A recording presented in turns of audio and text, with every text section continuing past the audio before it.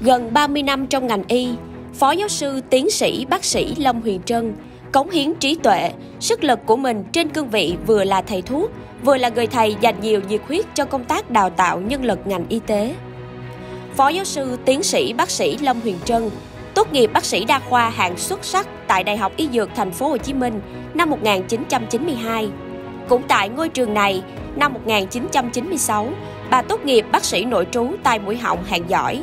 4 năm sau đó là tốt nghiệp thạc sĩ chuyên ngành tai mũi họng và đến năm 2007 bảo vệ thành công luận án tiến sĩ y học. Năm 2011, tiến sĩ bác sĩ Lâm Huyền Trân được phong hàm phó giáo sư.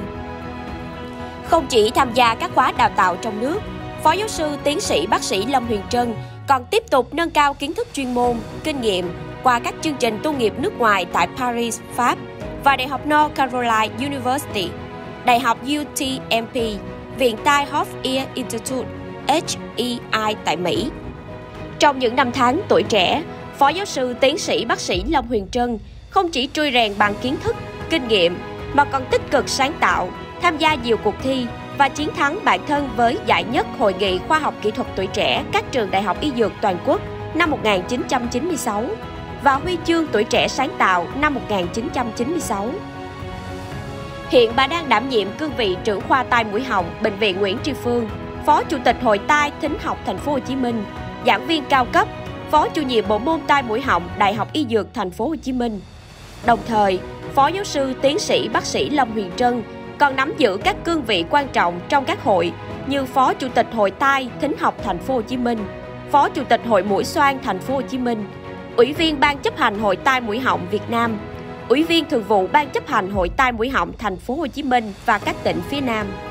Ngoài bệnh viện Nguyễn Tri Phương, khán thính giả có thể khám với Phó giáo sư tiến sĩ bác sĩ Lâm Huyền Trân tại phòng mạch 194 46 Võ Văn Tần, phường 5, quận 3, thành phố Hồ Chí Minh. Phòng mạch làm việc từ thứ hai đến thứ bảy, từ 17 giờ đến 19 giờ, chủ nhật từ 8 giờ đến 10 giờ. Khán thính giả có thể gọi đến số 028 3884 3745 để kiểm tra lịch khám tại thời điểm đến.